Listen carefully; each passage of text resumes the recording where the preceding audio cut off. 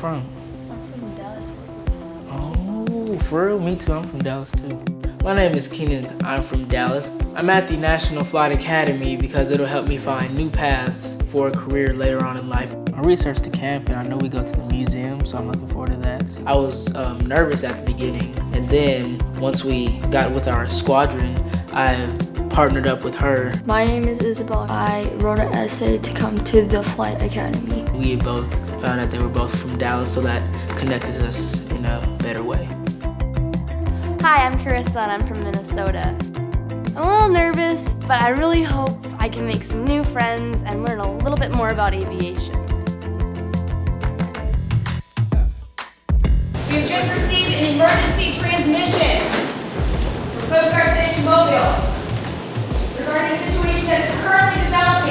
So we're in the cafeteria. We have just got word about our first mission. Hearing that news, I was really nervous.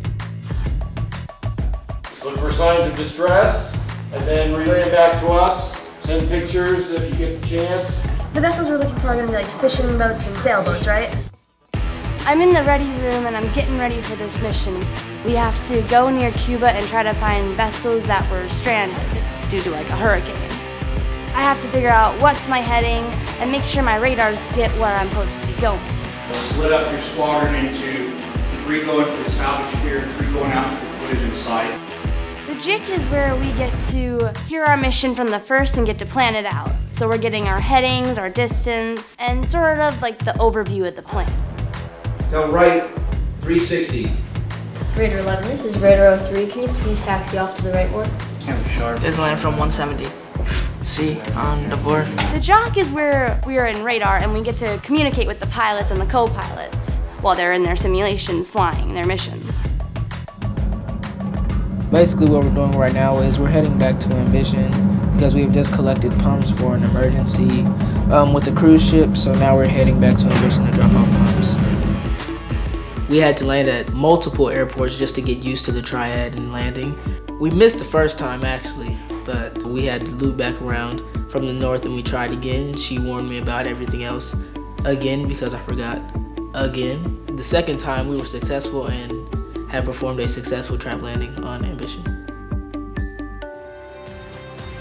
So today is our final day. We are graduating today. And I'm super excited and nervous. And I am so thankful to Delta and the National Flight Academy for letting me enjoy this amazing experience. Kids spend an entire week here learning things like critical thinking and teamwork. Uh, all the things that we at Delta are looking for, not only in flight operations, but in tech ops, in um, performance engineering, in communications. Every one of them, I think, told me that they worked really hard this week, but they also had a lot of fun. And, you know, if you're working hard and you're having fun, you're doing it right. Seeing the kids with the growth and all of their objectives and the smiles on their faces and all the stories they have to tell when their parents come get them is just amazing.